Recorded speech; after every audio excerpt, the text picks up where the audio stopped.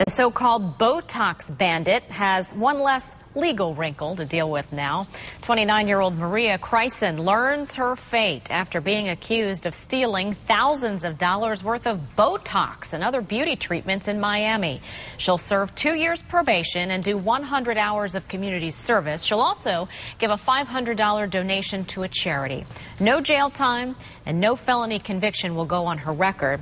When asked why she did it, her attorney answered for her.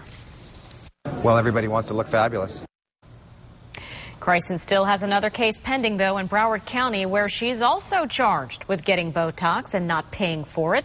She has also already pledged in that case not guilty.